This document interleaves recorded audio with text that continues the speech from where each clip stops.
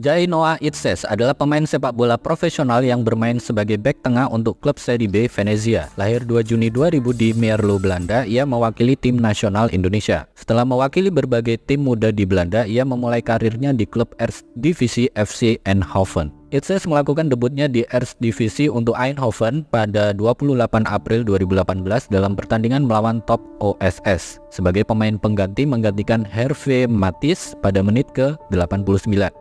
Kemudian Jay pindah ke klub Belanda lainnya yaitu Go Ahead Eagles di mana ia membantu tim untuk promosi ke Eredivisie dan menghabiskan dua musim di divisi teratas. Pada 20 Juli 2020, Itses pindah ke Go Ahead Eagles di mana klub barunya awalnya mengira kontraknya terhadap Eindhoven telah berakhir namun akhirnya setuju untuk membayar biaya yang tidak pernah diungkapkan.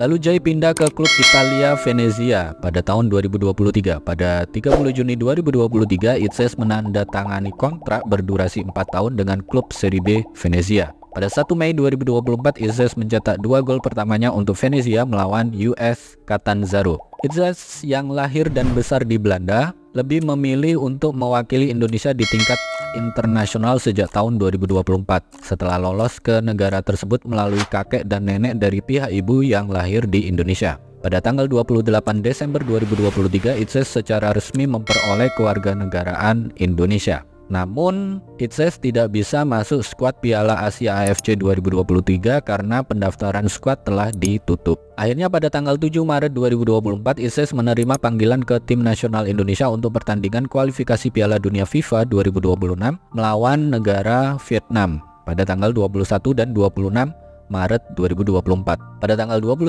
Maret 2024 ia melakukan debut internasionalnya untuk Indonesia pada saat itu menang melawan Vietnam dengan skor 1-0.